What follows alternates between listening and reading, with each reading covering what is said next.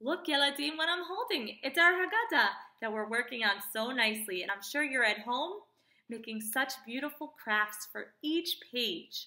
I can't wait to see what beautiful and unique Haggadahs you each make. Well, we learned that Seder means order, and the Haggadah goes over the order of the Seder. Can we walk through our Haggadah and sing our song to go over the order of the Seder? Let's do it together. Let's open it up.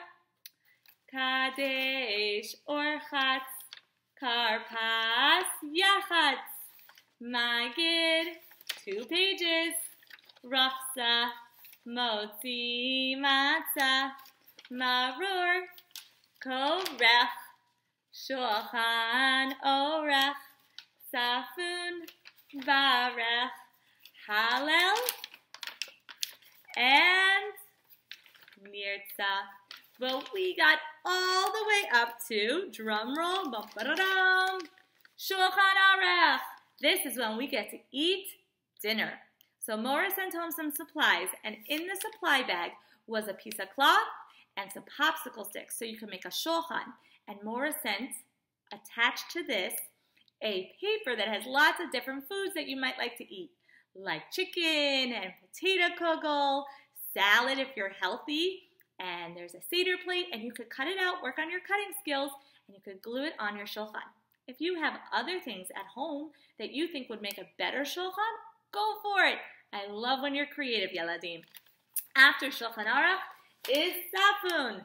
Safun is when you hide, or Iman Abba hide, the afikomen. Remember at Yachatz when we broke it and the bigger piece we went to go hide? Well, guess what? You, Yeladim, before you left school, you sewed an afikomen bag. And the best part is it goes in and out of your Haggadah, so you can really use it. Your job today is going to be to decorate it. Mora sent home stickers, but if you have jewels or markers that you want to color with, go ahead and make it your own Yeladim. And then for the end of today, we're going to work on making a bencher. Mora sent home Birkat Hamazon, and you are going to make the bencher. You can design it, and I really want you to try and write the letters Bet, Resh, Chaf Sofit to make the word Barech. It's going to be a little tricky, but I know you guys can do it. And I think if mommy and daddy help you, you'll be great at it. Plus, later today, we're going to have a fun game for Shulchan Aruch. So I can't wait for you guys to see it.